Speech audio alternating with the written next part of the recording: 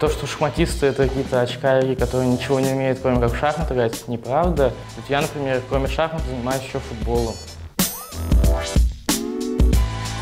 Когда мне было 11 лет, это был первенство в Сибири. Мы тогда сыграли, это Мадук был, и мы с ним сыграли 150 ходов и играли 7 часов, по-моему, да, без перерыва.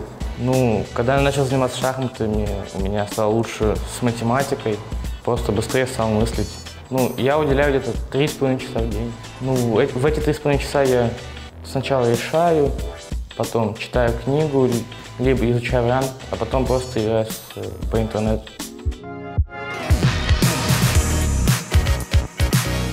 Упражнение 1 – это решение задач. Вы расставляете себе позицию, и вам надо найти лучший ход в этой позиции. Упражнение 2 – это чтение шахматных книг. Ты смотришь книгу, видишь ход, воспроизводишь его на доске. Это развивает у тебя память, ты запоминаешь разные планы, идеи.